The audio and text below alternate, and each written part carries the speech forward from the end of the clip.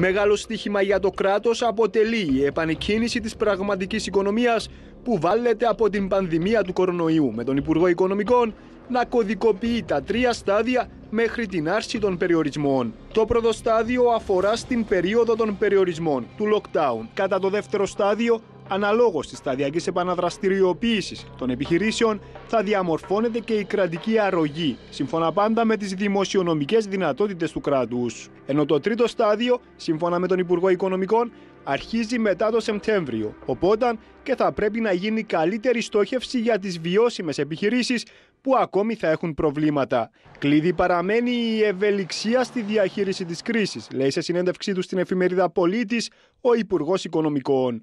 Όσον αφορά το οικονομικό σκέλος, είμαι πεπισμένος ότι θα τα καταφέρουμε. Υπό την προπόθεση ότι θα είμαστε ευέλικτοι, θα δράσουμε συλλογικά και συνενετικά και όχι μικροπολιτικά και θα ακολουθήσουμε μια προληπτική αλλά συνετή οικονομική πολιτική. Αγκάθι παραμένει το σχέδιο για τις κρατικές εγγυήσεις που προσκρούει στις ανησυχίες των κομμάτων κυρίως σε ό,τι αφορά στην εποπτεία της διαδικασίας δανειοδότησης. Σε αυτόν τον πόλεμο στο μέτωπο της οικονομίας υπάρχουν τρία όπλα που μπορείς να χρησιμοποιήσεις: το δημοσιονομικό, το νομισματικό και το χρηματοοικονομικό. Δεν μπορεί το κράτος να αντικαταστήσει τη ρευστότητα των τραπεζών. Διεμήνυσε μέσα σε αυτό το πλαίσιο πως πρέπει να σκεφτόμαστε και μεσοπρόθεσμα και μακροπρόθεσμα και είναι γι' αυτό που δεν μπορούμε, όπως είπε, να εξαντλήσουμε όλα τα πολεμοφόδια μας στο πρώτο στάδιο. Στόχος να καταστεί διαχειρίσιμος ο δημοσιονομικός εκτροχιασμός.